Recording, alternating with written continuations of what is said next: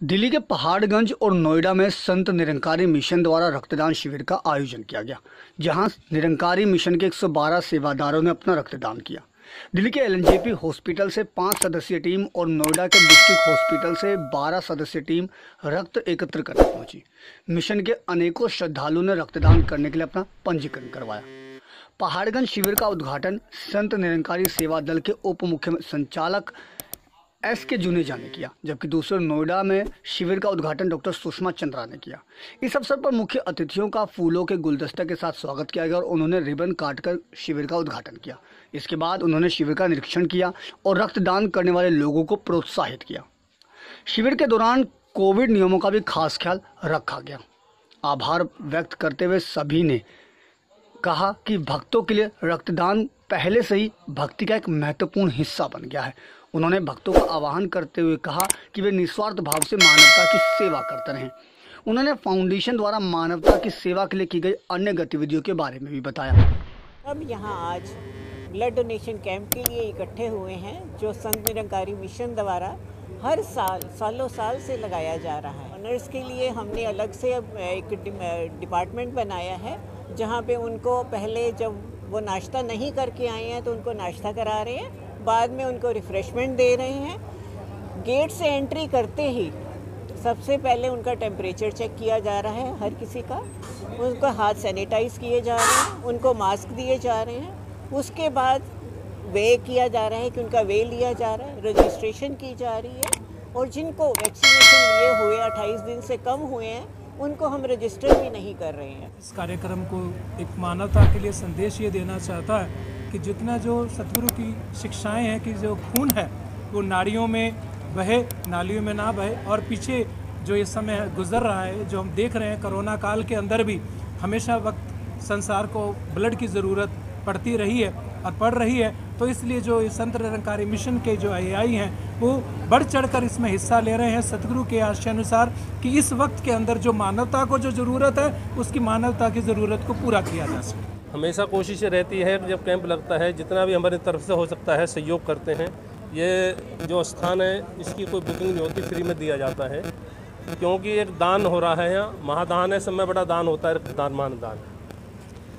जो बनता है, हमारी आर डब्ल्यू की टीम सेक्टर पचपन वाले भी कोशिश करते हैं सहयोग करने की। हम हर साल यहाँ पर कैंप के लिए आते हैं और हमें यहाँ के कैंप के लिए भी बेसब्री से इंतज़ार होता है, क्योंकि इतनी अच्छी व्यवस्था और इतना सेवा भाव रहता है यहाँ के लोगों में कि जो मतलब बताने के लिए भी कम पड़ जाए शब्द, ऐसा है। बहुत ही अच्छा इनका व्यवस्था रहता है। वैसे तो ब्लड डोनेशन हर बार के लिए ही बहुत ज़रूरी होता है क्योंकि हमारे यहाँ बहुत सारे गरीब और प्रेग्नेंट लेडीज़ आती हैं जो बहुत ज़्यादा सिवियरली अनिमिक होती हैं और उनको ब्लड डोनेशन के लिए कोई उनका घर परिवार वाला सदस्य भी नहीं होता कि जो उनको ब्लड डोनेट करे। तो ऐसे समय में और कोविड पैंडमिक के टाइम तो और भी ज़्यादा ज़रूरी हो जाता है कि लोगों के ब्लड डोनेशन कैंप्स इस तरीके के आयोजित किए जाए। ब्लड डोनेट करना हम लोग देश की सेवा के लिए ये सब कर रहे हैं। जैसे हमारे सदगुरु का आदेश है कि ये जो रक्त है, ये नालियों में नहीं, ये नाड़ियों में बहाना चाहिए। तो अभी मैं बहुत एनर्जेटिक फील कर रही हूँ। आज मैंने फ़र्स्ट टाइम ही डोनेट किया। हर बार ही ब्लड कम होने की वजह से ऐसी डोनेट नहीं कर पाती थी। तो आज ब्लड डोनेट करने के बाद डबल एनर्जेटिक फील हो रहा है। जो कि बहुत ही, और यही अरदास है सदगुरु के चरणों में कि हर बार मुझे ऐसा मौका मिले कि मैं नेक्स्ट टाइम से भी हर बार ही ब्लड डोनेट कर पाऊँ। अगर हम ब्लड डोनेट करेंगे तो हम, हमारा हर किसी के साथ रिश्ता एक ब्लड का रिलेशन बन जाएगा, जिससे यूनिटी बनेगी। एंड थैंक्स टू सदगुरु माता जी कि उन्होंने हमें ये अपॉर्चुनिटी दी और ये संदेश दिया कि हम भी इस इस वे से वननेस क्रिएट कर सकें। उनके लिए बस इतना कहना चाहूँगी कि अपनी नॉलेज को अपग्रेड करिए एंड अगर आप अपग्रेड करेंगे और जानेंगे तो आ, अगर फ़र्स्ट टाइम आप करोगे तो थोड़ा डर लगेगा उसके बाद वो डर भी चला जाएगा। एंड सेकेंडरी के अगर उसके बाद हमारा ब्लड भी फ़िल्टर होता है एंड ह्यूमन बॉडी को वो बेनिफिट ही होता है अगर हम ब्लड डोनेट करते हैं तो। मानना है कि ऐसा कोई डरने की बात नहीं है बल्कि हमें ब्लड डोनेट करने से हमारे शरीर का खून और साफ़ ही हो जाता है। कुछ पार्ट हमारे शरीर का खून का निकल जाता है। और वो आगे भी किसी की जान बचाने के ही काम आएगा। और अगर किसी की जान बचती है तो इससे बड़ा परोपकार का कार्य कोई है नहीं।